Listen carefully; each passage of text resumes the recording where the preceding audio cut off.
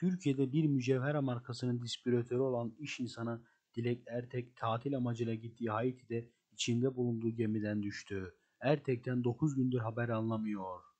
Haberimizin detaylarına geçmeden önce bir saniye videomuzu beğenip kanala abone olursanız beni çok mutlu edersiniz. Dilek Ertek tatile gittiği Tahiti'de 26 Ekim'de gemiden denize düştü. Ertek'in arama çalışmalarına rağmen henüz bulunamadığı öğrenildi. Dilek Ertek'in oğlu Gökçe Altuğ'un avukatı Didem Konaş Büyükpınar açıklama yaptı. Açıklamada şunlar kaydedildi. Dilek Ertek gemi seyahatinde talihsiz bir kaza geçirmiştir. Gemi Pasifik Okyanusu'nda seyir halindeyken 26.10.2022 tarihinde Dilek Ertek denize düşmüştür. Dilek Ertek'i arama çalışmaları bugüne kadar maalesef olumlu sonuç vermemiştir.